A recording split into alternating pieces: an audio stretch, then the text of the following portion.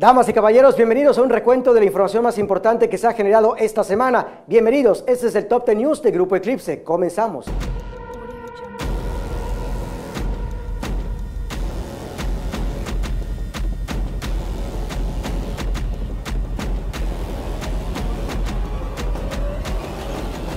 Tregua el calor en Yucatán. La llegada del Frente Frío número 39 dejó lluvias, descargas eléctricas y la caída de granizo en algunos puntos de la capital yucateca. Para este fin de semana se espera la llegada de otro sistema frontal a la entidad yucateca.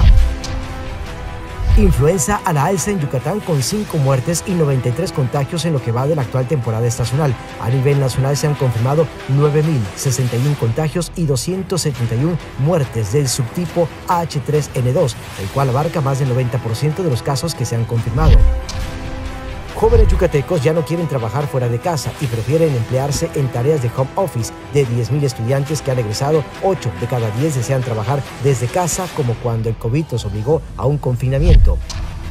El presidente de México, Andrés Manuel López Obrador, afirmó que México es más seguro que Estados Unidos después de que las agencias estadounidenses emitieran alertas de viaje a sus ciudadanos por inseguridad en casi todas las entidades de la República Mexicana. Esta semana se cumplieron tres años de brotar las primeras infecciones del COVID-19 y Japón ya determinó eliminar las medidas del uso obligatorio del cubrebocas. El presidente de México, López Obrador, criticó la fiesta en el Instituto Nacional Electoral tras la restitución de Edmundo Jacobo como su secretario ejecutivo y aseguró que el amparo otorgado por el Poder Judicial demuestra que son lo mismo. El gigante estadounidense de las redes sociales Meta, propiedad de Facebook, Instagram y WhatsApp, anunció que va a recortar otros 10.000 puestos de trabajo en los próximos meses. Los despidos en el área tecnológica se darán a conocer a finales de abril y en la parte empresarial hacia finales de mayo.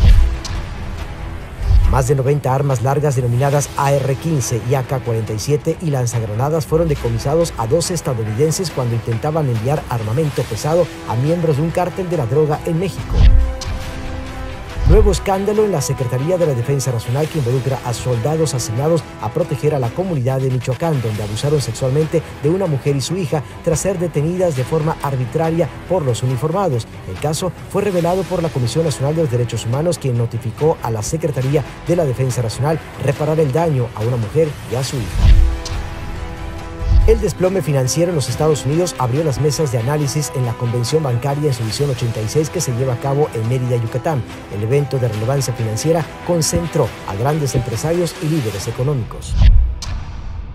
Las noticias más importantes de esta semana ya son de conocimiento de usted y mío. Gracias por habernos acompañado en este Top 10 News de Grupo Eclipse. Hasta la próxima semana.